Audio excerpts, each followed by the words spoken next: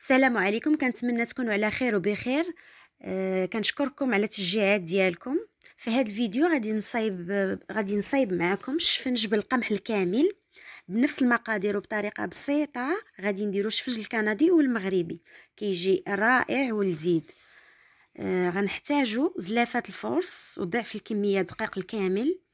آه اما الخميرة والملح والسكر على حسب ذوق كل واحد. بالنسبة للتزيين على حسب اللي موجود عندكم في الدار.